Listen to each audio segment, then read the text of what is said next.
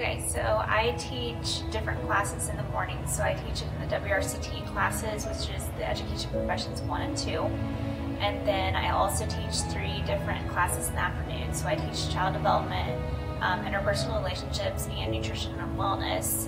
Um, and then first semester, I also teach advanced child development. So quite a few classes to pick from. Um, and then there's the regular classes offered at the high school, or there's also the WRCT class I offer in the morning for first, second, third period. This is a little bit different from um, some of your regular classes that you might have to take um, to graduate from high school, um, such as your core subjects. With my classes, if you're interested in anything related to careers with like kids, or if you like to work with kids, those would be really good classes to take. Also, if you like to cook or if you like the nutrition um, aspect of it, those are a little bit different than other classes offered, so I think it's a good opportunity to kind of mix up your schedule it's important because there are a lot of different careers out there available um, besides just your regular careers that you think of when you think of kids, such as teaching.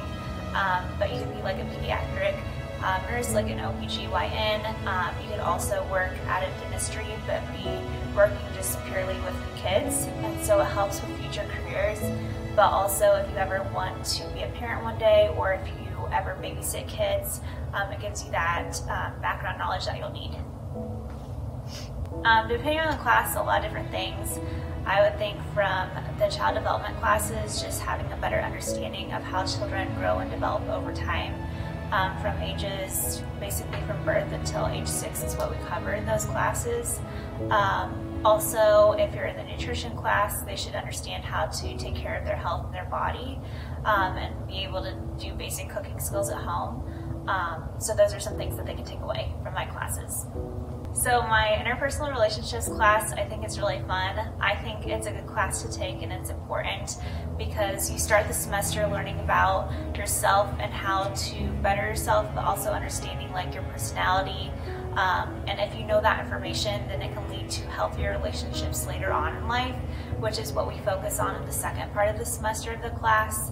And so I think it's good for everyone to be able to understand that information um, in high school and then going forward in the future. Um, a lot of different career paths for my classes. So if you were to take like the nutrition classes, that could lead to anything like being a dietitian um, or being like a chef. Um, also, my child development classes and my education profession classes are more focused on if you would like to be a teacher or be like a preschool teacher, work in child care. Um, but beyond that, because there's so many careers related to kids out there, um, and my relationships class would be really good if you wanted to do like um, anything really, but counseling, human resources, things like that. Um, I think learning about nutrition and wellness is important because we focus on how to eat healthier options, but also just how everything is good in moderation. So kind of balancing out your diet. Um, we will focus at the end of the semester on different careers related to that in the field. And then I think it's important because some of the students just don't know how to cook at all. And so just having that basic understanding is good for when you start living on your own. Um, after high school, you know how to cook at home or in an apartment or a house that you live in so that you're not just going off of like eating a box of cereal.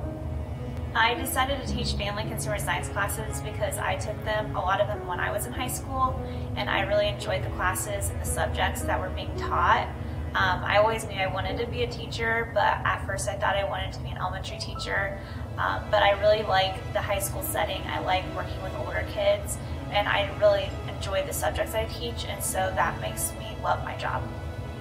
So I think what makes my classes interesting for students is the fact that a lot of the classes offered are hands-on and so um, depending what class it is you're signing up for I try to incorporate different like activities that would be fun to take what we're learning in class and then being able to do an activity that makes it more interesting. So it's not just sitting at your desk all the time doing the same thing every day in class and then for my education professions class in the morning, which is the WRCTE class, that one is totally different because students are going out to the elementary schools and working in an elementary classroom. And so that's something that's completely different you wouldn't see in any other class here.